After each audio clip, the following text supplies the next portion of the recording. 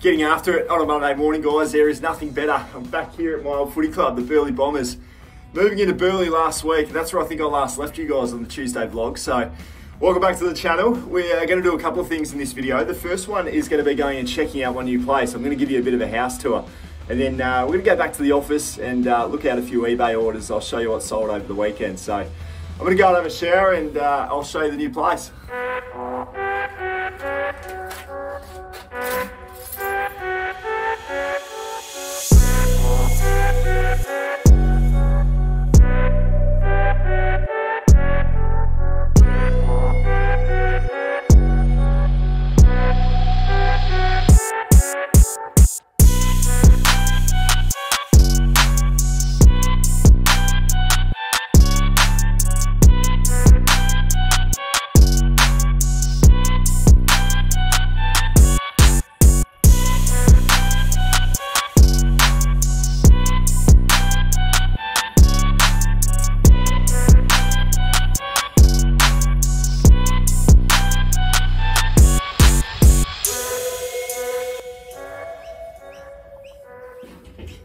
So, what do you think? Look, I really like it, guys. Uh, it's been a really nice week settling into this place. It's a, it's an awesome location, first of all. Um, a few things missing in the house. There's no fridge, as you may have noticed. There's no dining table either. The housemate that previously left, he took all the furniture, so we're slowly just recouping everything back uh, and buying new stuff. So, um, look, once that's all in, it will feel a little bit more settled. My bedroom's not too bad. It's a little bit small, but it fits all of my stuff, so I can't complain about that. And my housemates are awesome. Uh, one of them's a physio in his early in his early 30s, and uh, another one's I think in his late 20s as well. So uh, those guys are epic, and uh, I really do think this is a place that I can be in for a couple of years to come before I buy a place. And um, I really wanted to show you guys, give you a bit of a quick tour uh, of the place today, and uh, give you a feel for where I'm now set up moving forward. But um, let's head over to the office. Let's get back to mum and dad's because there's a stack of stuff that we need to do on this Monday morning. And the first thing, as you know, is doing the Monday post. So let's jump in the car, get back over there, and I'll show you what's sold. So guys, no doubt about it, it was a pretty big weekend, a pretty big week really, moving into the new place last Tuesday. And, um, you know, the footy grand final, AFL, that was on Saturday, the Dogs and the D's, and the D's getting up after a big long stretch without a flag. That was really cool to sit back and watch had a few people over at my place. We had a few beers, watched the footy, and that, and that was kind of cool too. So um, I really did just want to switch off on Saturday. The fact that I've now ticked off the big milestone and moving out of home, kind of wanted to just celebrate by taking a day off and watching the footy. So that was a lot of fun. Uh, and then, albeit a very hungover Sunday morning, I was back at it, back at the flea market, and uh, and finding great items that I've already cut up a video for. Um, which, you, if you yet to see, definitely go and check that one out because there are a few really great finds in there. But um, so I guess to counter all of that, the fact that I did take Saturday off, I put a 10% off store-wide sale on my eBay store, kind of to hopefully counter the fact that I wasn't actively listing on that day. Um, didn't have any scheduled listings or anything like that. So I just whacked the store promotion on and um, we'll go into the house now and I'll show you a few of those that, that ended up selling throughout that period. Um, I'll take you through the numbers, the numbers that sold over the weekend. We had a total of 26 sales, a total revenue of $932, the fees of 140 bucks, the postage of 195, cost of goods that sold 105 bucks. So guys, it was a $491 weekend and um, I was really content about that. Um, it's, it's around about a 12 to $1,400 uh, take home that you get taxed on uh, from an earning sense right now. And uh, the new place that I'm at in, in Burleigh is 240 bucks a week in rent. And I really don't think that's too much of a concern considering I'm earning what I'm earning plus YouTube dollars on top of that, you know, $1,200 in eBay sales, you know, take home. So financially, all really good. Everything ticking along really well. Let's go and show you what actually did sell to get that $491 in profit. And we're to kick things off with the DVDs.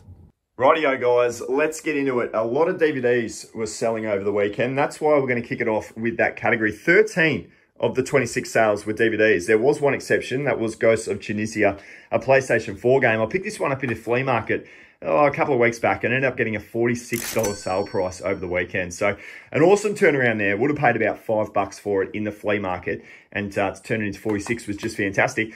Uh, the box sets in the DVDs are always going to be your top winners. This one sold for $40. Love My Way, the complete series. Um, so that one was great get in a, in a uh, trip to the thrift on Thursday, actually. I paid a dollar a disc or a little less than a dollar a disc. So that would have been about $8 into uh, $40. So about 10 bucks to ship that one off. Uh, Hornblower. This one sold for $31.50. Uh, that was in a sale that I ran over the weekend. Um, so 10% off store wide. That one came through at a 31.50 sale. Not too bad. Happy to get rid of it. HR Pufnstuf. This was just three episodes, volume one. Ended up getting a $22.50 sale price. Just a great turnaround for what is just a single disc used DVD. Um, so definitely a DVD for you guys to be looking out for there. And then the old school Tom Selleck Runaway DVD. This one sold for $18. Both of these actually, HR and Runaway, uh, were a Facebook Marketplace wholesale bundle where I picked these up and uh, would have only paid 50 cents a piece and um, they've ended up going on to sell for $40, the two of them. So the rest here that you can see up the top, they're all sort of between 10 to $15. I won't go through each and every one, uh, but what you're seeing here is a total of 13 DVDs selling for $247 at an average sale price of 19 bucks, which I thought was pretty good. Let's dive into the clothing section and we'll see what sold over the weekend. So we had some really big wins in the clothing, guys. The first one was this vintage Mambo shirt. Now, I've ended up going on to sell this for $120. These things sell for some really good money. I probably could have pushed maybe 150 to $200 if I wanted to be patient. I'm not patient. I just like to move stock. Um, so this one was a really great get. I, I paid $4 in an op shop for this guy a week and a half ago in a trip to the thrift video. If you saw it, it's already moved in the space of 10 days. So I've made $100 profit on this Mambo shirt. Absolutely one to find when you're in the thrift. Definitely my favorite clothing item to find. The next one was a shirt that sold internationally. Um, so this was a really nice Disney Zara t-shirt and it was a size large, women's size large. Really nice print on it. As you can see there, the Disney theme on sort of a magazine type print. Uh, nothing on the back of this one, but I ended up getting a $25 sale plus $25 worth of international postage for this one. So a really nice piece. Uh, when you get your international post, um, that will cost me about $18 to the US. So an extra six bucks turns into a $31 sale price and I only paid $4 in the op shop. So some serious profit there, guys. A nice little grab, um, a nice little sale over the weekend. Uh, okay, the next one, I'll actually do both of them. We had four t-shirts. The first one was this Led Zeppelin uh, t-shirt. This was a size small, which I don't typically like to pick up, but it was quite a large size small, if that makes sense. Um, the other one as well was this uh, New Zealand All Blacks um, grey rugby league polo shirt.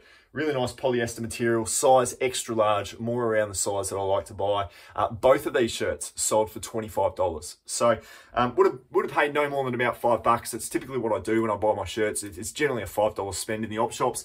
And uh, both of them have gone on to make me $25. So you can have that, say about $12 each worth of a profit. I've made myself about a $25 profit on those two items. Um, there were two more pairs of shorts as well, so or pants I should say. So let's go and have a look at those. So you may have remembered in a trip to the thrift, I bought these Nike uh, track pants on Thursday. Really nice little print there. I actually haven't taken a stain out that I was noticing in the op shop right there, but I'm just going to send this one off anyway. Hopefully no negative feedback comes my way based on the cleanliness. Uh, this one's a size medium, but it was in excellent condition, and the Nike brand always stands the test of time for myself. So uh, that one ended up selling for $30 on a best offer. I think I had it up for 35 bucks accepted a $30 uh, um, sale price on that one. This one as well was Kookai. This one's been here since the dawn of time, uh, sitting in my uh, inventory cupboard, but um, finally moved that one on for 20 bucks. Don't really know why I bought it, to be honest. A, a pretty ratty old pair of jeans. I, I shouldn't say that because somebody has bought it looking to wear it. But uh, it was a size 40 and... Um, Look, Kookai's a good brand. It's women's wear, and I don't know women's wear too well, but um, I, I, do know that Kookai is a decent brand. It didn't sell for very much, though, but uh, two other pairs of pants, not too bad. The next category is the hats, and we've sold two hats over the weekend. Um, the first one that I wanted to have a chat about though was this Supreme hat. I found this Supreme hat in a garage sale not too long ago, and uh, I paid a dollar for it. It's ended up, so have a guess. What, what do you think that hat would sell for? It's a plain grey five panel hat. $89.95 was the sale price on this guy. Now, you're probably thinking for Supreme, is it genuine? How do you know if it's genuine? Well, it's the tag. The tag will always give you the truth. And there it is there, a made in USA Supreme tag. That, my friends, is definitely a genuine hat. And um, $89.95 off a $1 purchase. That's making me about a $75 profit on that hat alone. The other one as well sold to Bowden from Falls Creek Flips. Definitely a YouTube channel for you guys to go and check out. I will leave his uh, YouTube channel in the description below. Um, he, he bought this one off me. So this was a 2000 uh, Qantas Australian Grand Prix Melbourne hat. Vintage 2000 hat in great condition. He's paid the $30 for it and uh, I only bought it on Thursday for two bucks. So not being uh, through eBay, this one was done on Instagram. I'll make myself about a $20 profit on that one, 75 bucks on the Supreme hat. So two pairs of hat over the weekend, a $95 profit. Pretty damn ridiculous. So we've had six pairs of shoes in total sell as well. These Noosa Double F2s, um, they actually was bought on Thursday in a trip to the thrift for 14 bucks and I moved them really fast. They've sold for $60 and um, I was really happy with that price actually because I was thinking about a best offer of 50 would be my best case scenario. So to have them move in the space of just 24 hours for $60, an awesome shoe there, guys. This one sold for definitely undervalue.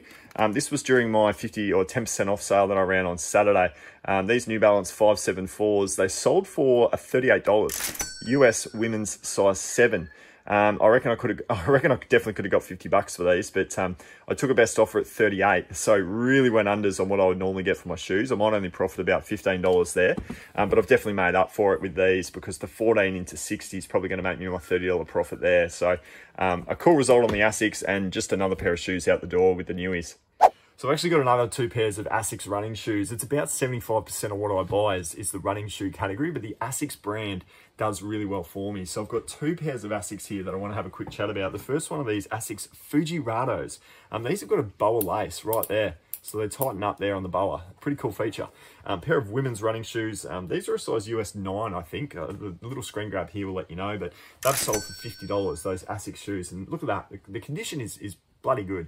Um, so they were off to a really nice home for $50, $42.50 after post. Um, take out fees, bought for five, turns into about, I don't know, 28, something like that. These ones as well, ASICS Gel Cumulus 21s. Bought these in a flea market about two weeks ago. Um, I think I paid about $5, something like that. These Gel uh, Nimbus 21s have ended up selling for $68.95. So um, really love finding the Kayanos, really love finding the Gel Nimbus. Um, $68.95 off a $5 purchase. I'm making about a $40 profit there with those. So a huge grab there, a huge grab on the Fujirados as well. Another two pairs of ASICS. That's why I love selling this brand.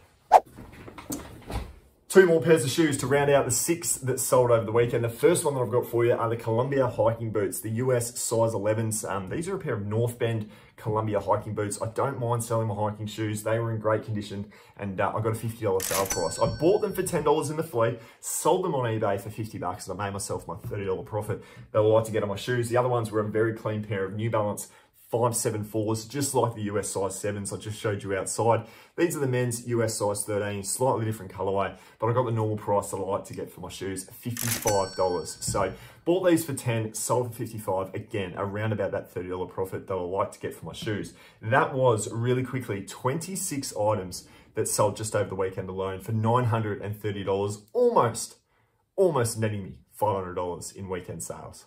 So there you have it guys. I'm shooting off to go and do some thrifting, but I'm not going to show you what I find in the thrift because I do a trip to the thrift video every single Thursday. And that's going to be the next video that pops up on this channel, guys. Thursday's trip to the thrift. I cannot wait for it. Hopefully I can find some really cool items today, but uh, Thursday is always my favorite day of the week. Hopefully you've enjoyed the episode, guys. Like I said, I'm absolutely stoked to be in the new house and um, obviously, uh, you know, showing you my eBay sales as well. I'm happy with what's sort of trickling through in my eBay store currently. So all things going well. Thank you very much for being here. My 30% clubbers that stick through to the very end.